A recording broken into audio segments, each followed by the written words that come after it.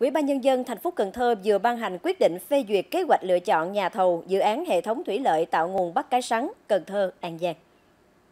Theo kế hoạch, có 18 gói thầu tổng trị giá các gói thầu hơn 18 tỷ đồng từ nguồn vốn ngân sách nhà nước.